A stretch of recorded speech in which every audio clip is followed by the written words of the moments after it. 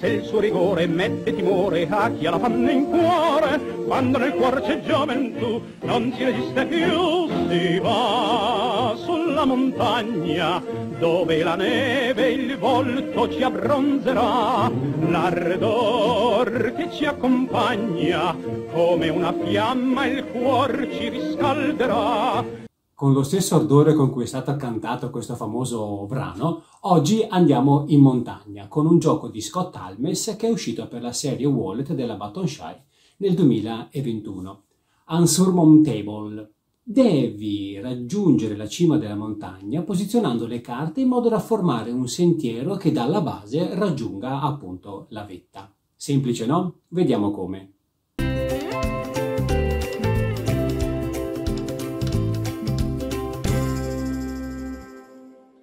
Come altri giochi della serie classica Wallet, anche questo Unsurmountable è composto da 18 carte e un regolamento di 8 facciate. Il tuo scopo è creare un sentiero dalla base della montagna fino alla cima, posizionando le carte a formare appunto questa montagna. Ogni turno scegli se aggiungere una carta all'area di gioco fino a formare una piramide con base 4, perché la montagna avrà al massimo 4 carte come base, o usare una delle abilità presenti sulle carte stesse. Vinci se completi la montagna, quindi la montagna ha una riga da 4, una da 3, una da 2, una da 1, come indicato su questo diagramma qua, e se c'è un sentiero che dalla base arriva fino alla cima, oppure perdi se finisci le carte a disposizione. Vediamo queste semplicissime regole un po' più nel dettaglio partendo dal setup. Dai una mescolata ovviamente alle carte e formi una fila di 5 carte. Che sposto un po' così le vedi tutte. Queste formano il campo base. Metti da parte la carta elicottero, che è un aiuto che puoi usare one shot, quindi lo mettiamo qua, e dopodiché inizia la partita scegliendo di usare una di queste cinque carte qui. O la prima a sinistra per cominciare a costruire la montagna o aggiungerla agli altri piani della montagna stessa, o una delle altre quattro carte scartandola e usando gli effetti e le abilità che sono indicate sulla carta. Se vuoi costruire la montagna, la prima carta che giocherai deve andare sulla riga più bassa, al piano terra, questo che possiamo considerare il piano terra, e le successive le aggiungi sempre alla base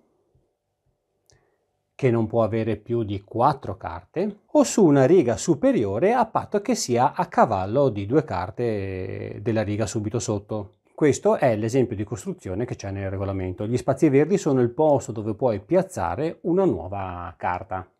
I sentieri che si formano possono avere diramazioni, eh, vicoli ciechi o addirittura non essere assolutamente connessi tra loro, tipo questo caso qua.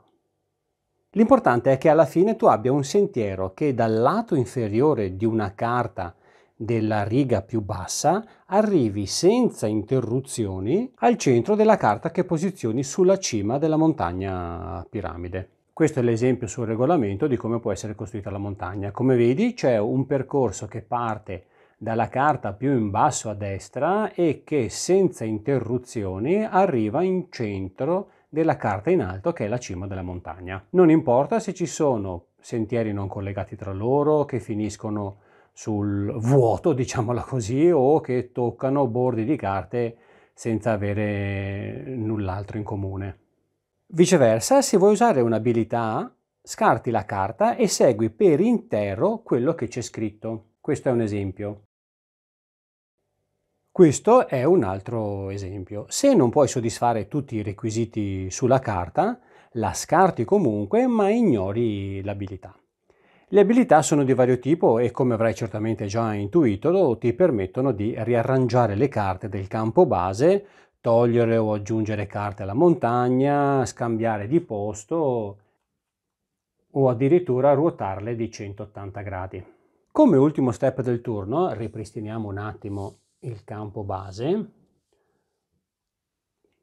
quindi gioco questa per formare la base della montagna, come ultimo step del turno, stavo dicendo, sposti tutte le carte del campo base a sinistra e ne peschi un'altra dal mazzo che posizioni sulla destra, fino ad arrivare ad averne 5, quindi se qua c'erano dei buchi, ruotavi, spostavi anche questa, questa veniva qua e ne pescavi un'altra per arrivare fino a 5. Se il mazzo di pesca è finito, continui a giocare saltando questo step fino a che o vinci o perdi.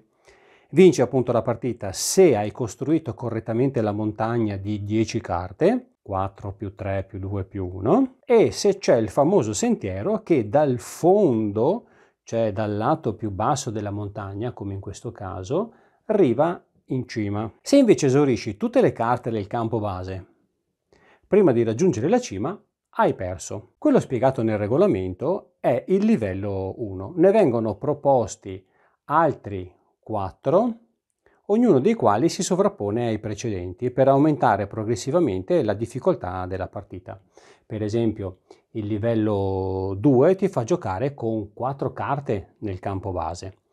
O il livello 3 per ogni riga puoi avere uno solo di questi simboli qua che nel livello 1 non tieni conto. Però se giochi con il livello 3 devi per forza anche applicare gli effetti del livello 2 alla data di uscita di questo video marzo 2022 ci sono due espansioni Dual Peaks e Big Climb che puoi anche combinare assieme.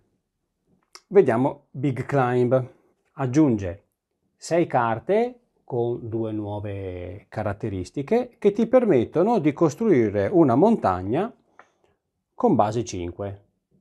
Easy peasy.